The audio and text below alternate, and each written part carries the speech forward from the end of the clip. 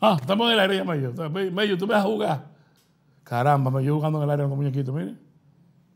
Buenas tardes, República Dominicana. Buenos días, buenas noches. Mundo. Mundo. Bueno. Bueno. Bueno, bueno, bueno. ¿Qué dice aquella? Ah, ok.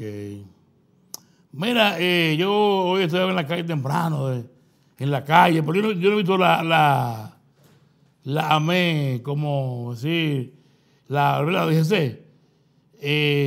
Temprano en esto, no lo he visto, no, no, no, no. No, no. No, no, no he visto la, la DGC, que está que, que llevándose. No, no, nada de eso.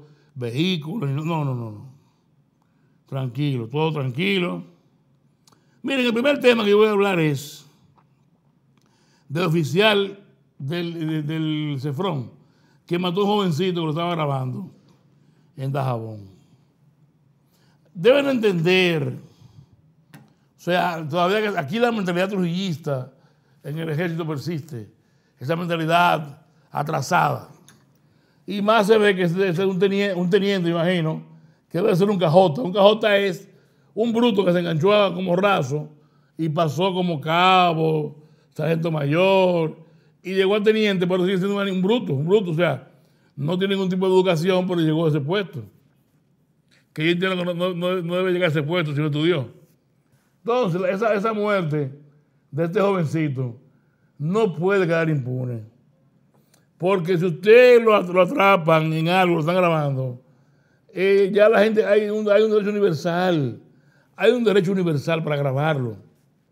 Usted es un funcionario público que se ve a la transparencia. ¿Qué usted quiere ocultar?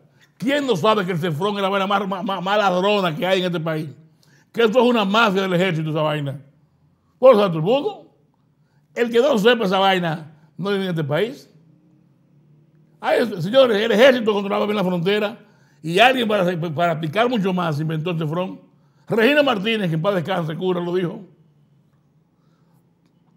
Palabra de Regina Martínez. No hay una vaina más corrupta que ese front. En este país, miren cómo es. Los haitianos que no tienen carnet, lo agarran en un operativo, los que son pobres, ¿verdad? Y lo montan y lo llevan a esta migración. Luego, cuando llegan a Bajabón, casi llegando, negocian. ¿Quién tiene tanto? ¿O quién se ya con tanto? Se lo dan y lo devuelven a la otra vez. Y muchos que andan con lo que se le queda el carnet en la casa, tienen que pagar dos veces eso. Pero si andan con el carnet no hay problema. Es un negocio redondo, señor, pero usted ve que.